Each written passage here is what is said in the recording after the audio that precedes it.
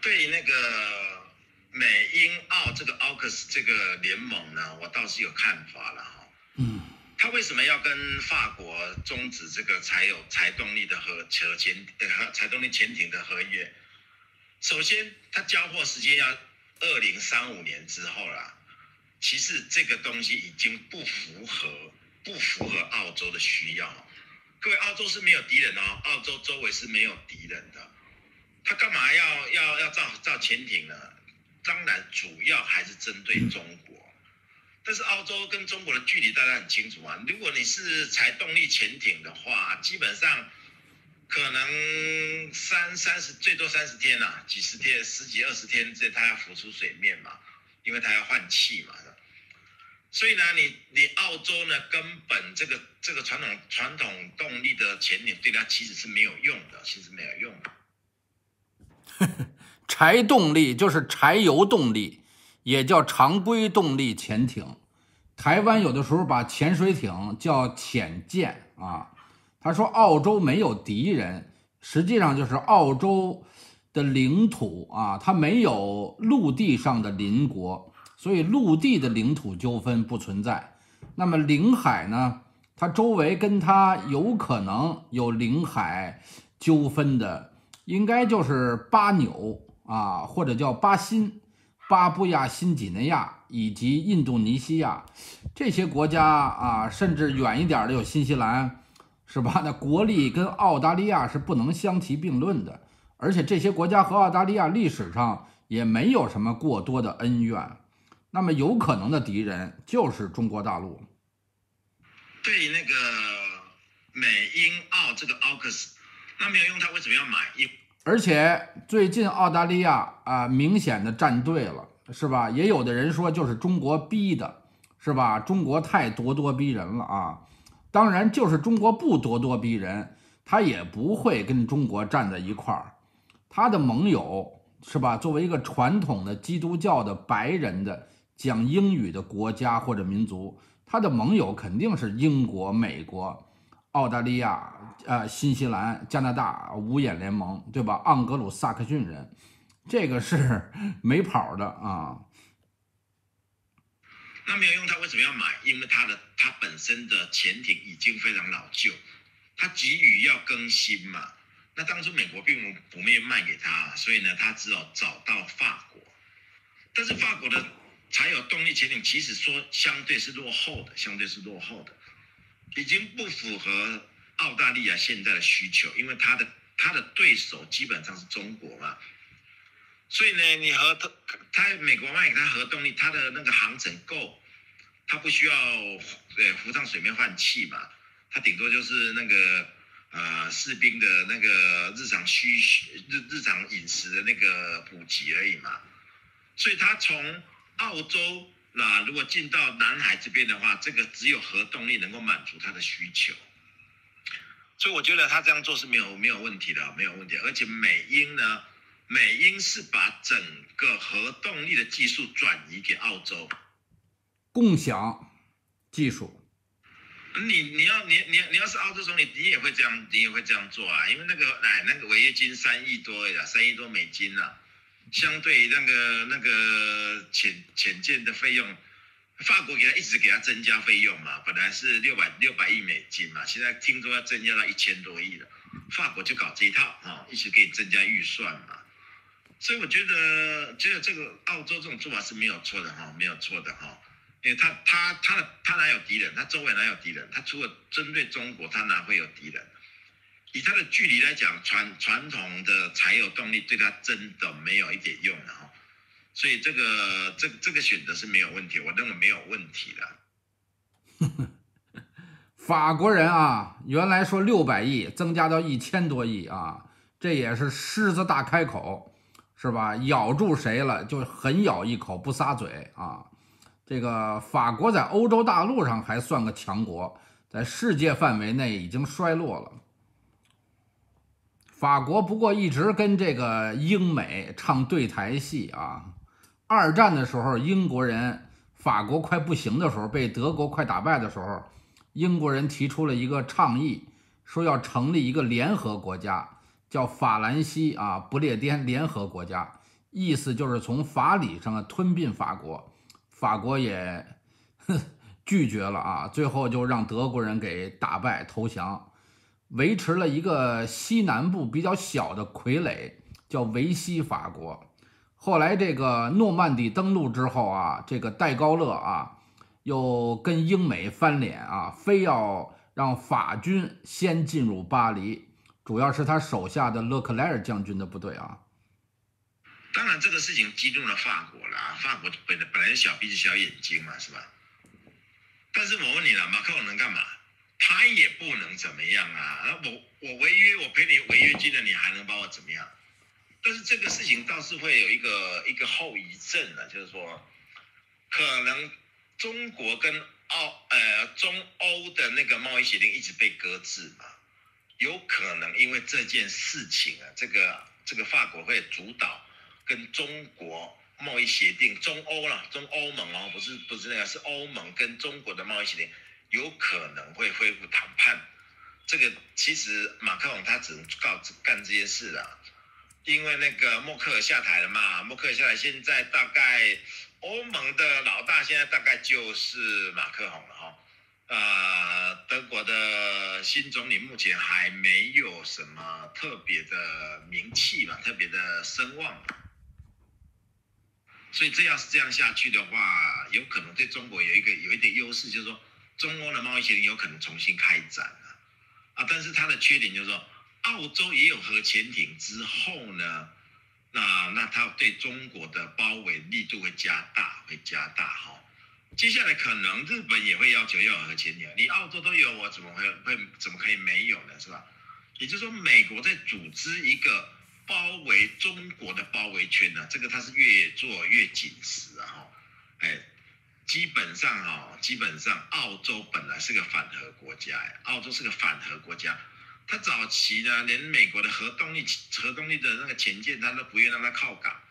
澳洲他们要一个绿色家园嘛，但是在这个情况下，澳洲居然舍弃了法国的传统动传呃才有才有动力潜艇，改买美国的那个核潜艇的话，基本上澳洲的态度是一百八十度转变哦。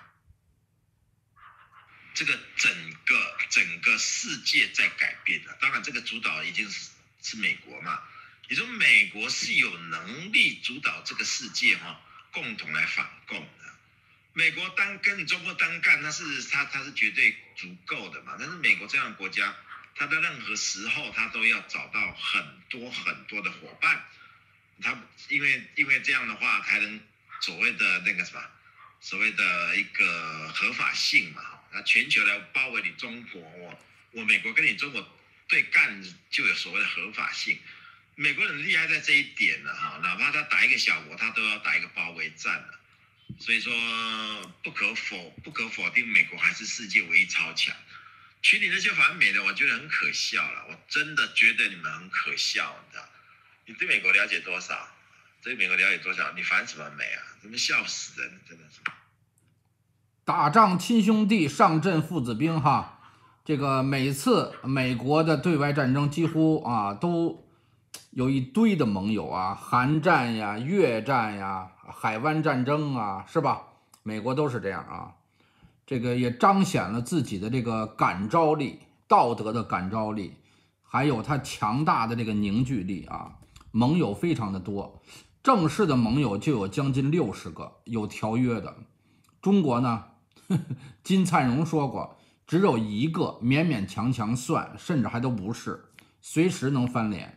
就是北朝鲜，所以中国谁都靠不住啊！人家是一堆，是吧？打你的时候是一堆人，即便你是好汉，你都难敌四手啊！即便你是恶虎，还怕群狼。全世界哈，当你们还在谈什么的时候，传统文化的时候呢哈，全世界在争夺的是太空的卫星轨道权的，而这个世界上争夺最厉害是美国两家私人公司。就是呃那个马斯克嘛，跟贝佐斯嘛，马斯克跟贝佐斯两家私人的公司在争夺太空的轨道权，而且打得不可开交。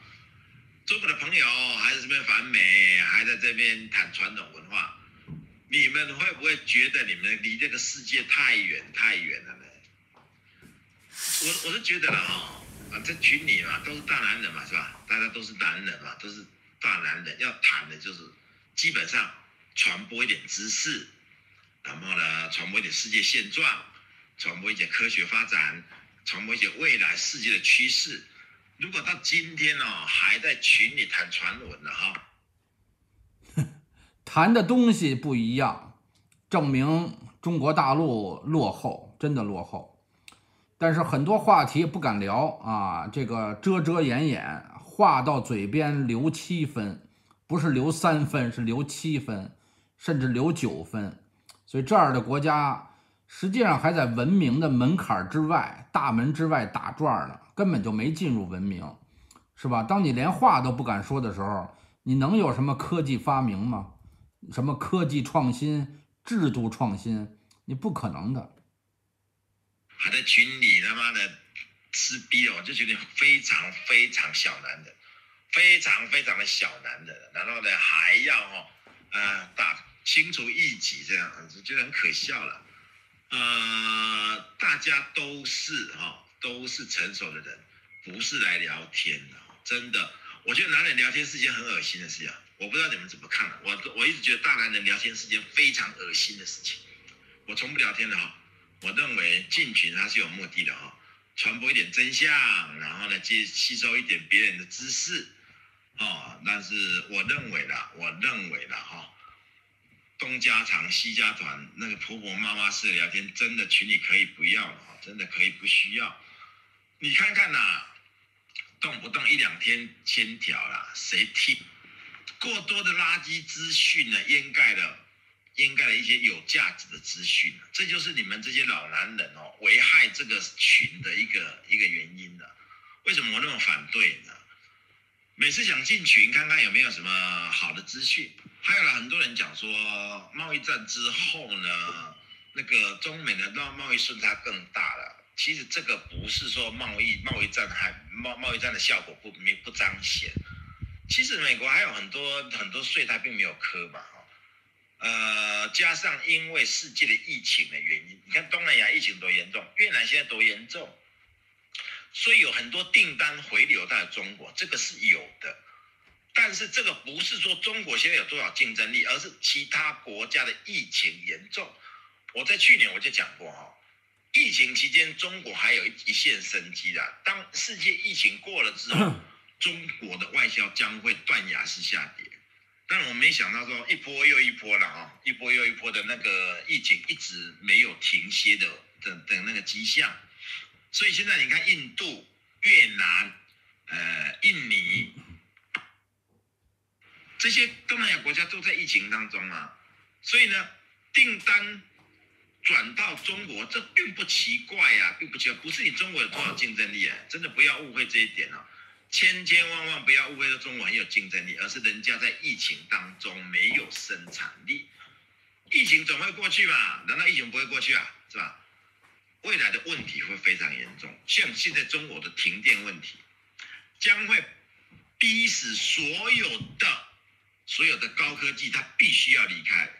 以前呢，外高科技离开可能是一些政治问题了，现在已经不是政治问题了，现在是切身之痛啊！我们东莞现在一个礼拜停停三天，工厂啊，工厂一个礼拜休三天假。我现在为什么有时间跟你聊天？他妈，我今天工厂被停电了，是吧？是不是？那这个问题怎么办？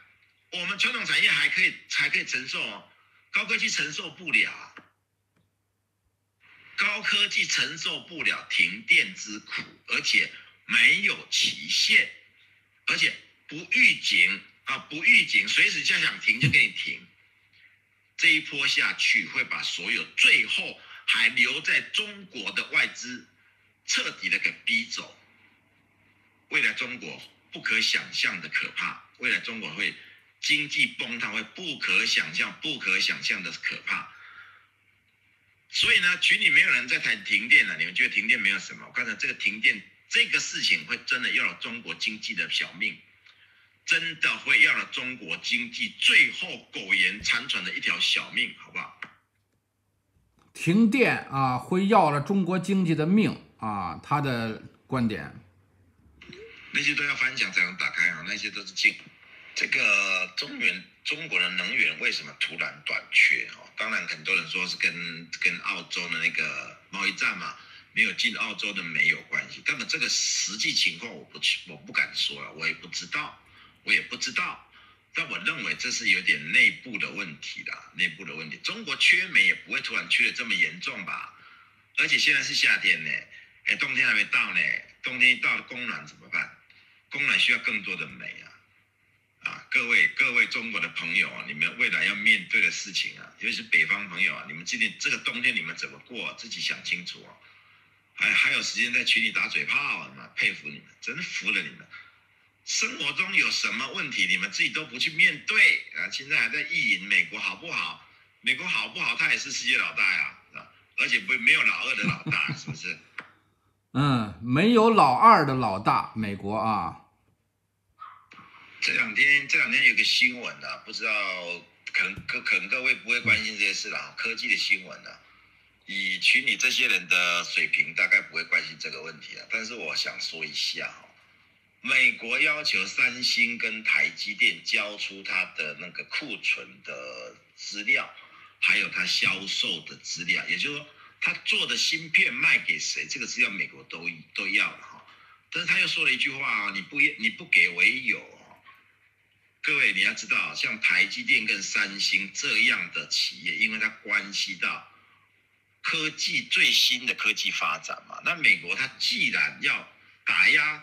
中国跟俄罗斯的科技，它当然的源头，科技源头不就芯片嘛？它当然要管控台积电跟三星芯片的流向，你做的到底卖给谁呀？啊，其实这个东西哈，美国是有的哈，我可以我可以可以很负责任的讲哦，台积电跟三星都有 FBI 进驻台积电跟三星都有 FBI 进驻，也就是说。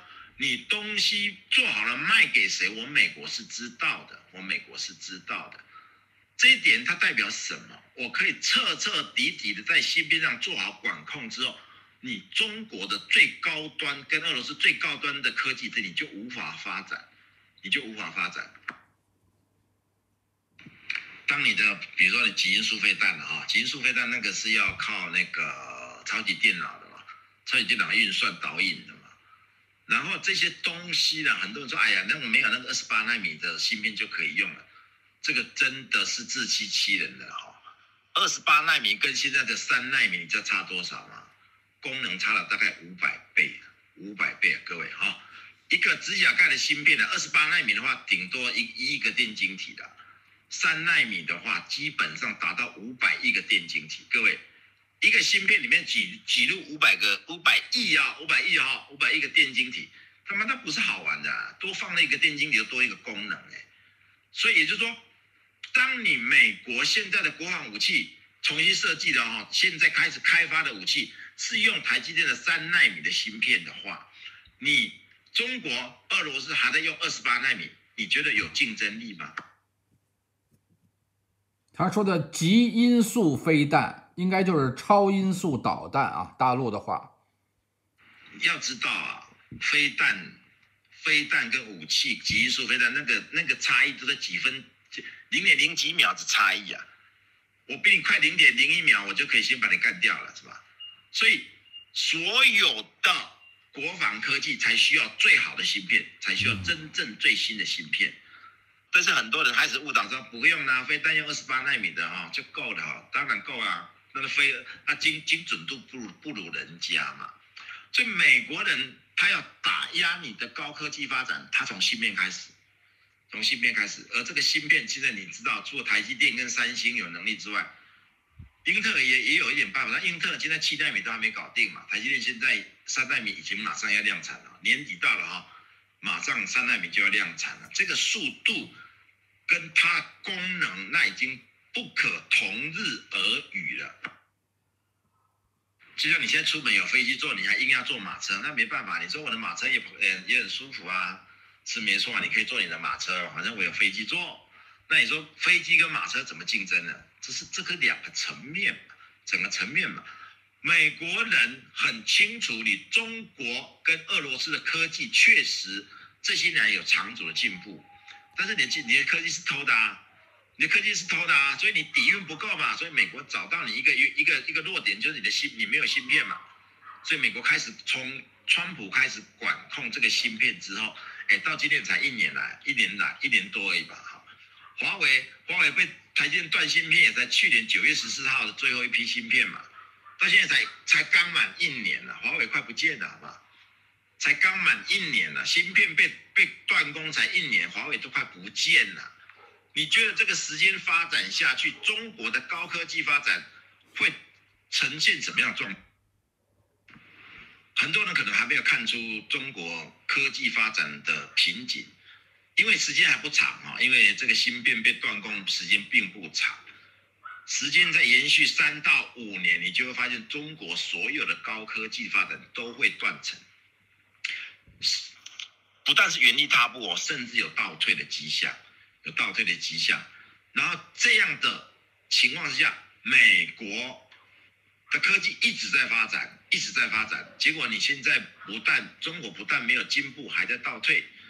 时间一拉长啊，这个就完全不是一个等级的较量了，完全不是一个等级的较量。我们承认中国这些年确实军工科技发展的很快，这个是事实，这个是事实。但是，但是你所有的科技底蕴不具备嘛？你不具备科技底蕴嘛？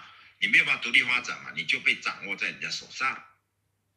所以这些东西呢，长期下来了，长期下来，不光是从贸易、经济的国防、外交各方面全面的围剿了哈，中国未来的的前途非常惨淡了。加上国内这些莫名其妙的停电，其实我到现在还没有搞懂停电的原因，我不知道群里有没有有没有哪位高人看懂了国内停电的原因的？好了，你说你能源不足了，你也不会突然吧？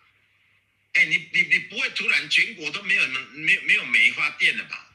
那你说啊，现在发电呢，发电成本太高，不愿发电，这个都不合逻辑哦，这个都不合逻辑，我不相信这种说法。那真正的原因呢，可能不都不是我们这些人能理解的，是不是蕴含了一些斗争在里面的哈？啊，有人说这叫做什么？这叫做电力的政变啊！我我我我不是不敢，我不敢肯定啊，但是我有听过这种说法嘛。我我我我谈一下孟孟晚舟的事啦，我也不觉得说是什么美国的妥协啦，哈啊什么什么什么中国赢了啦，什么孟晚舟怎样的？我跟你讲，根本的原因是什么，你知道吗？根本的原因是华为不存在啦，华为没有价值啦，我抓你孟晚舟没有任何意义啦。华为华为现在还看到他的手机吗？今年今年华为今年的手机是去年九月十四号哈包了一台。七四七飞机到台湾，把所有的他们跟台积电订的芯片一次运过来嘛。因为九去年九月十四号之后，台积电就没有再给华为供应芯片嘛，所以这一年来华基华为基本上已经没落了哈。到了明年，我可以跟你保证了，华为明年没有一一颗的五 G 芯片的啦。华为明年没有五 G 手机啦，你放心，明年绝对没有。这样的华为还有什么好跟你跟你打的呢？华为已经没有任何价值了啊！也就是说，现在啊，再去审判审判呐，孟晚舟没有任何意义。美国人只做有意义的事情呢，哎，我打你也有意义啊！你都不知道我打了，我打你干嘛呢？是吧？那趁这个时候嘛，就把这人情做给澳，做给加拿大嘛，让加拿大把放过来，因为加拿大可以换回他们两个被抓的俘虏嘛，是吧？所以说，美国人做事不是你想的那么表面的东西啦。如果现在华为很强了哦，华为现在很厉害了，孟晚舟回不来了，回不来，懂吗？美国人早就觉得你华为都没有价值了，我顺水做个人情给加拿大怎么了？又有什么不对呢？但这个却被中国人拿来哦，你看那个到处什么什么什么的，哎，我觉得可笑到极点了。看事情，请你们看到事物的本质，不要去看那些表象。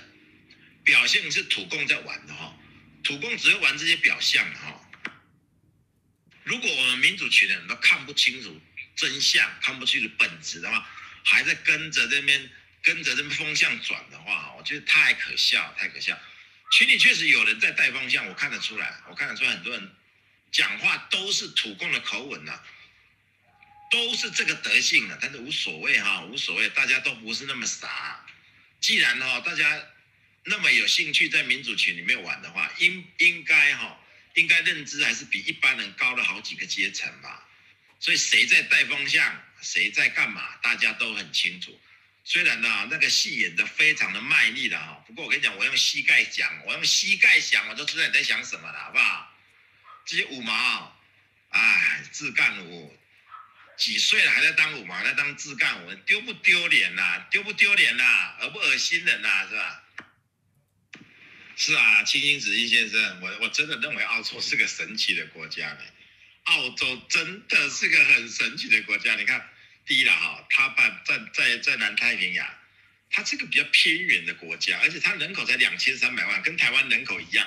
澳洲人口跟台湾一样哦，但是你看。他无意不语的啊，他每个事情他都要参与脚，这个跟他们的民主性可能是有关系的。我我我认为，澳洲应该当年是美国，而是英国流放罪犯的地方嘛，所以这些人呢，我认为罪犯并不是坏人啊，进罪犯不一定全是坏人，但是罪犯一般一般来讲比较彪悍，所以澳洲人呢有延续这种彪悍的性格哈，他什么事他都参，每每每次战争他都参与，好不好？而且他都他他都有他都有参军，都有派派部队过来嘛，所以你看整个南太平洋的自由航行权，澳洲是叫最最卖力的。呃，第一个要求要病毒溯源的也是澳洲啊，是吧？所以他才被中共被土共给那个打那个制裁。问题是，你中国制裁不到他呀，这个大家都很清楚，就不用再说了哈。澳洲的铁矿啦，或者煤矿，现在人家价格要又涨了，涨了多少？也销销量也没有减少嘛。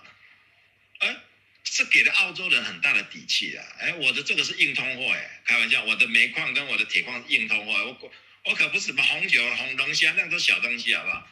所以澳洲人越来越有底气了，越来越有底气，所以他这个核核动力的航的那个潜舰非常可怕哈，它可以在水底下哦，一潜个潜潜几个月啊。不用不用上来嘛，也就是说，它可以在太平洋的深水区啊，自由航行，完全抓不到它。也就是它这个影响力是非常大的。各位，澳洲拥有的核潜艇的话，是非常大的一件事，这绝对不是一件小事啊，绝对不是一件事。所以买马克龙去叫就叫，没人理他嘛。法国在这个世界上影响力哈，其实越来越小了，越来越小了。呃呃呃，它本来那个才才动才有动力的潜艇，对澳洲其实一点用处都没有啊！真的，人家澳澳洲要改成美国的核动力，而且美英两国是给澳洲整个技术转移耶！哎，未来搞不好澳洲啊可以生产核潜艇、核潜艇出售了，是吧？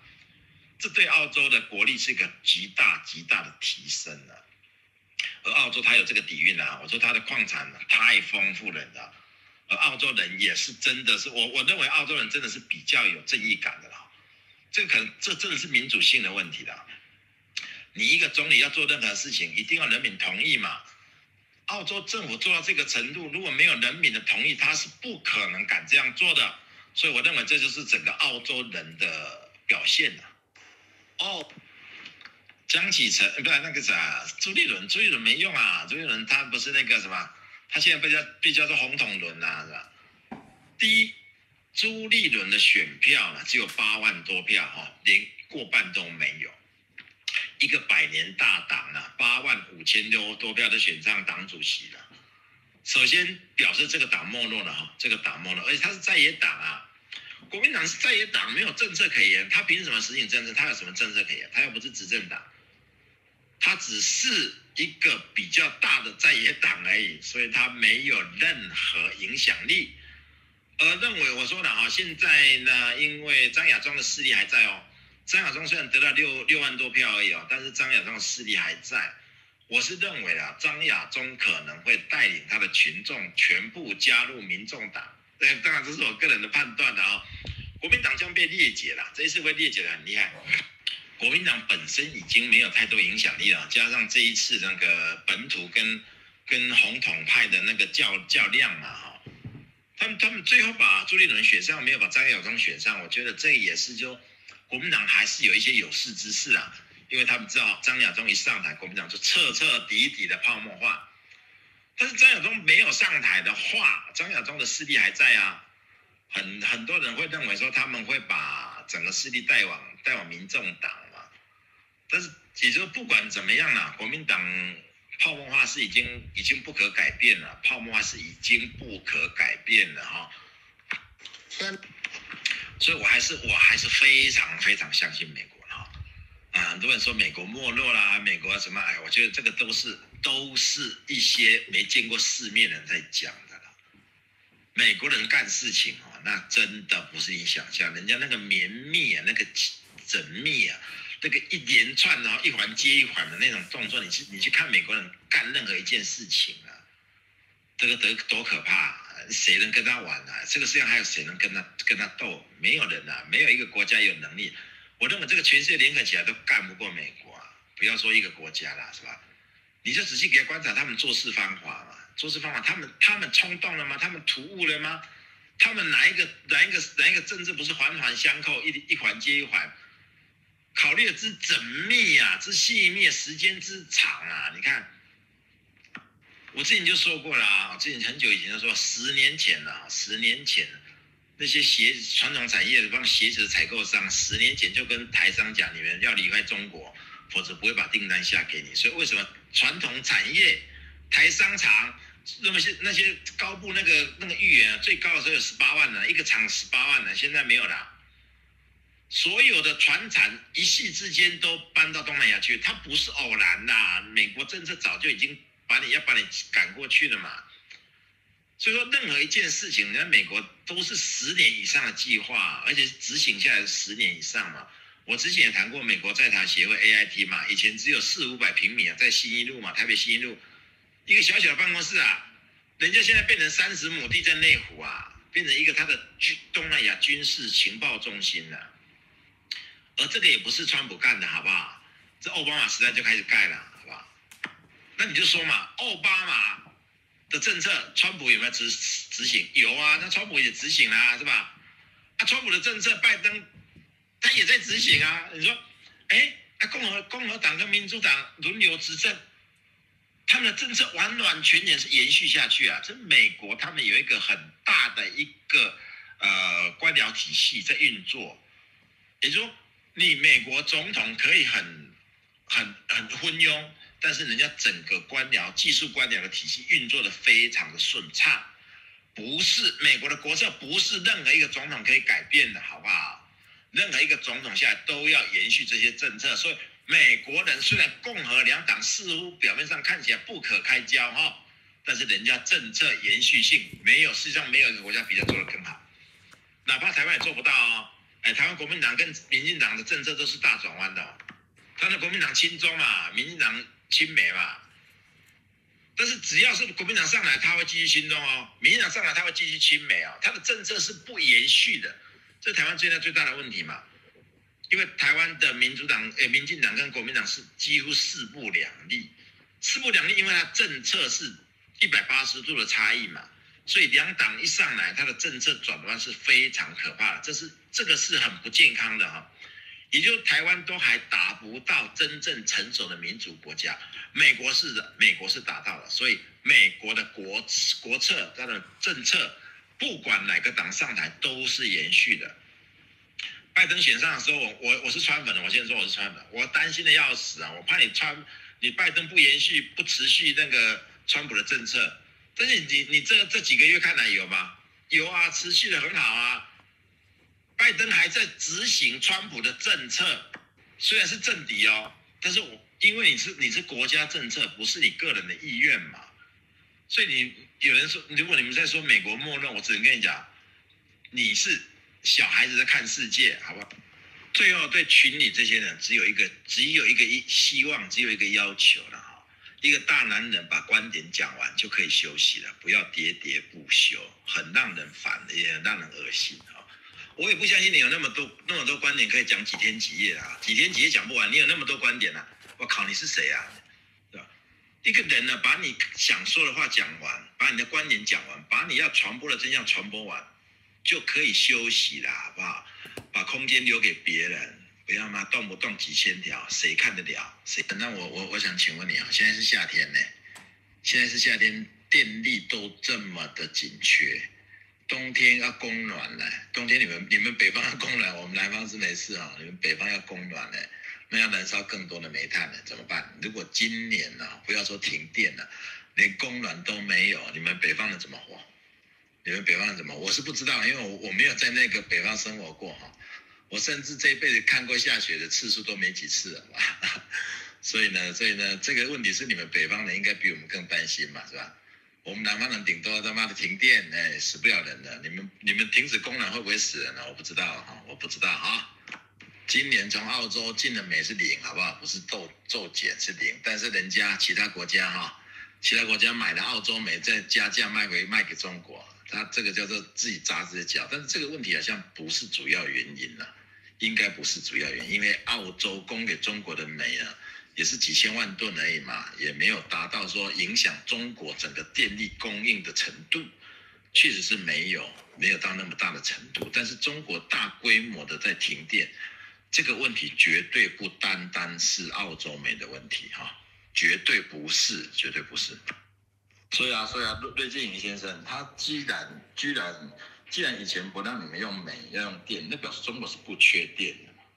中国电电可以多到说你不要用用煤用电，那怎么会突然缺电缺的这个程度呢？是吧？我们我们我们这边一个一个礼拜是休三天的，你知道吗？停三天电了。听说还有江浙一带还有还有还有开一停六的，是吧？表示说这个整个那个能源的缺缺少不是小事情，是大规模的大规模的。就这个这个改变太大了哈，到底问题在哪里？很多人还没有弄懂，很多人还没有弄懂。所以这个缺电，所以这个缺电的问题啊，将成为压垮中国经济的最后一根稻草。很多外资呢，还对中国还有一点眷念。那这下一停电，他们不走不行啊，因为他没有一个解决的实现。那到底什么时候会会会会改善？没有人知道。所以说，这个停电是非常非常严重的，好不好？呃，这个这个真的是一般人可能没感觉到哦，企业的感觉是非常非常恐怖的，灭顶之灾啊！这对企业来讲，这种停电是灭顶之灾啊！地产它是众多稻草之中的一根，那我这最后一根是停电，这个电会是最后一根啊，因为房房地产本来就一直存在嘛，大家都知道嘛。但它还不算最后一根呢，它只是稻草之中的一根啊。